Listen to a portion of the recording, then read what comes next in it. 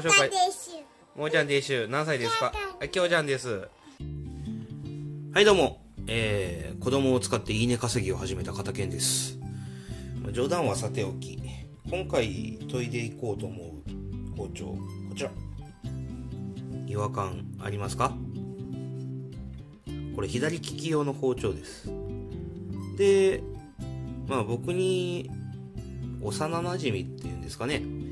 まあそういう知り合い友達がいるんですけど、その子に誕生日プレゼントで一応左利き用の包丁を送ったことがあって、まあ一緒の研ぎ無料券みたいなのもあげてる状態なので、この度研いでみましょうってことで。で、冒頭にいた子たちはこい、こいつの娘さんたちです。ちょっと YouTube に出たいっていうのもあったみたいだったんですけど、これ幸いと撮影して載っけてます。左利き用の包丁、まあこういう時ですね、やっぱ、この研ぎ方をやっててよかったというか。で、えっ、と、まあか、ご家庭でね、使う刺身包丁なんてそんな長くないんですが、送った時にそういういい鋼とか、青鬼とか言われてるやつとかすごい高いやつとかあるんですけどそういうやつよりもやっぱ取り回しの効く使い勝手のいい包丁をプレゼントしたかったんでこれはステンレス銀酸銀酸鋼っていうステンレスです。非常に錆びに強いんでそういう包丁です。まあとりあえず研いでいこうと思いますチャンネル登録お願いします。でまあ、えー現状確認なんですが。うん。銀酸ぐらいのコードがあるとやっぱ刺身を切るぐらいだと1年経っても切れんことはないっすな。切れる切れる。ただやっぱちょっとまだらな分があるかな。切れてる部分切れてないさて、じゃあ研いでいきましょうかね。最近こういう薄くなった黒幕とかは、この空母を研ぎ台にするとす非常にやりやすいんで、こっち使ってますけどね。とりあえず研いでいってみましょうかね。おお、左手の包丁初めてだな。よし。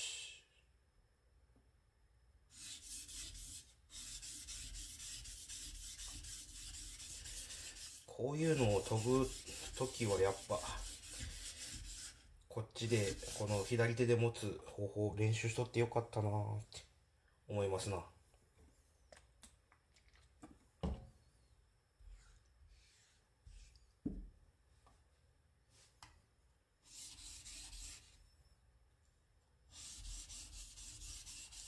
あー切っ先の当て感がわからんなってくる。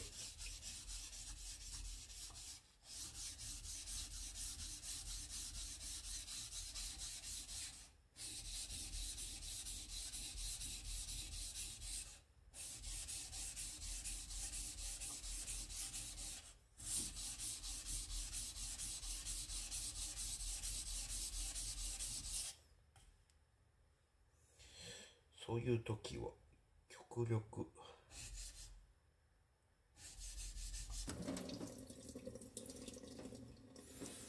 ひどい。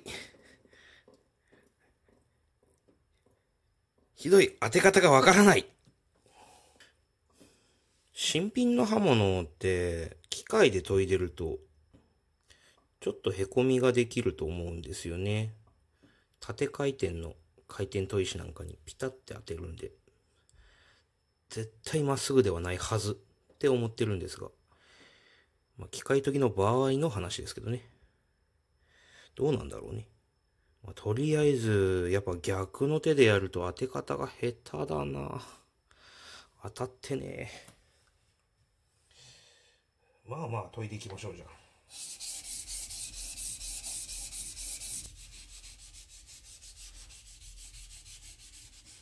まあね、あのーチャンネルの裏側を話すわけじゃないですけど、もともと僕も両刃とかはこう、ひっくり返して研いでたんですけどね。この包丁を送ってから、それじゃいかんなと。なんせいつか絶対この、こいつを研ぐ時が来るはずやと思っとったので、地味にこっち側も練習し続けたんですよ。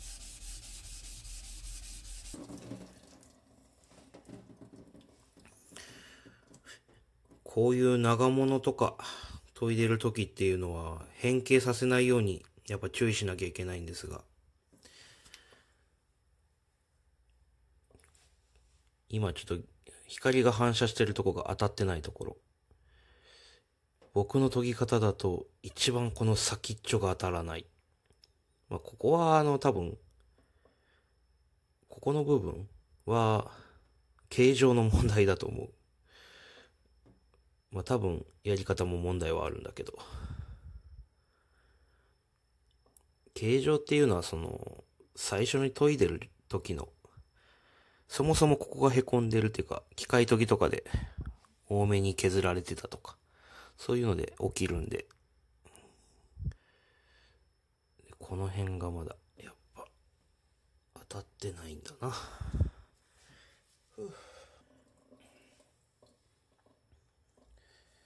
はい、千番の研ぎ終わり。ちょっとここが当たってないのは、まあしょうがないかな。キス、あの、刃先には当たってるんで。で、ここも当たってないけど、ここも刃先に当たってるから、とりあえず2000番に行きましょうかね。んで、やっぱ左手でやるとダメですね。つる首になりかけた。まあ、2000番で研ぎながら修正していきますわ。じゃ2000番で研いでいきます。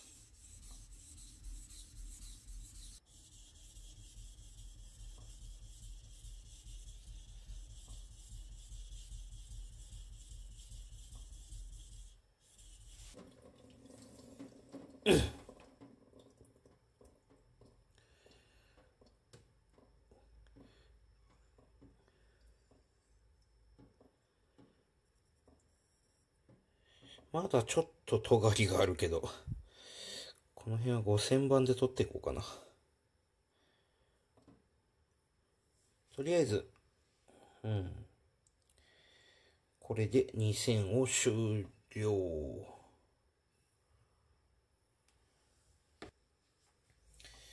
はい、続いて、歯の黒幕5000番。ここでしっかり歯つけていきましょうかね。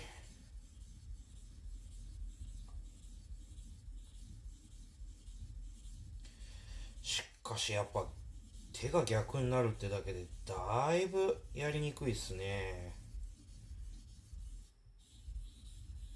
グッドボタンお願いしますこれが完成。やっぱちょっとここ当たってねえな。まあこれは切り刃のへこみで刃先自体には当たってたのでいいかな。ょっと裏を研ぎすぎた感もあるけど。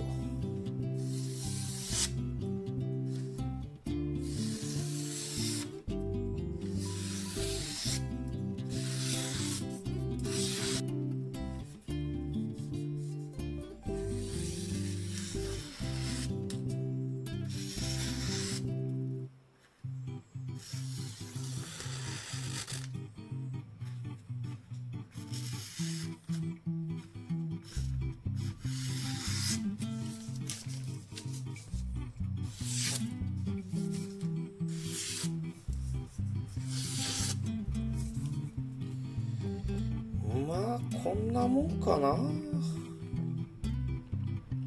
切っ先もまあちょっと尖りすぎかな？まあこんなもんか。はい本日の動画は以上です。